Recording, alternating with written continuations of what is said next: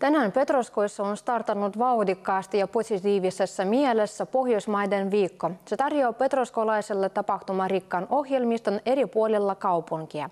Asiasta kerrottiin festivaalille omistetussa ja vasta päättyneessä lehdistötilaisuudessa.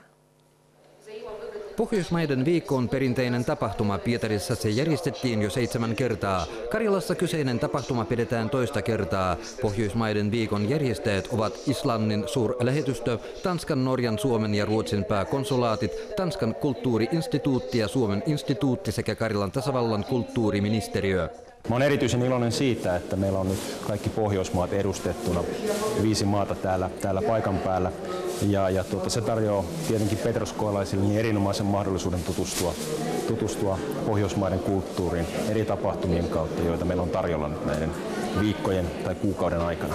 Eri ikäluokille, eri ikäryhmille löytyy varmasti mieluisia tapahtumia ja kaupungissa on todella paljon näyttelyitä nyt Pohjoismaista eri näkökulmista tehtyä. Швеция придает большое значение регионального сотрудничества Ruotsi pitää erittäin tärkeänä ja merkittävänä Pohjoismaiden alueellista yhteistyötä, jonka erinomaisena esimerkkinä on tämä festivaali. Ylläpidämme mielellämme tällaisten tapahtumien järjestämisen traditioita luoteis-Venäjän kaupungeissa. Tämä mainio aloite myötä vaikuttaa kulttuurivaihdon voimakkaampaan kehitykseen sekä edistää ja lisää naapureiden välistä luottamusta ja yhteisymmärrystä.